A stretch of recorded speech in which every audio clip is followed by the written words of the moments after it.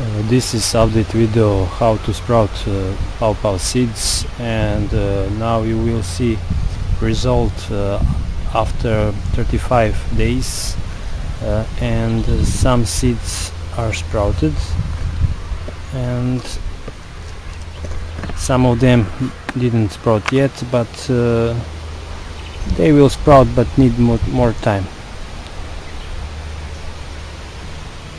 Here they are I will take one seed to show you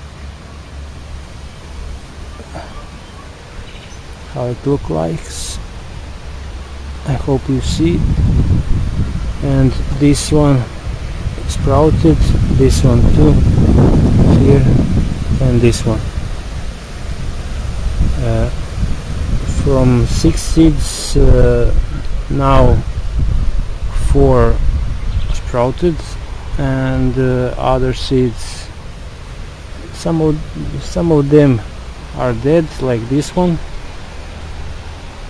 And uh, some of uh, them will sprout but need more time like this one